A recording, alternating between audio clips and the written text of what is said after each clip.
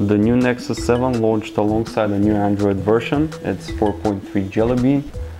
The update brings a host of improvements which include better multi-user support, updated stock Android apps, uh, better, better 3D graphics and others.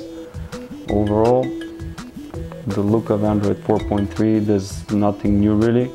It looks great on the full HD screen, we must admit that. It feels very fast and very, very fluid, which is hardly a surprise considering the powerful hardware of the Nexus 7.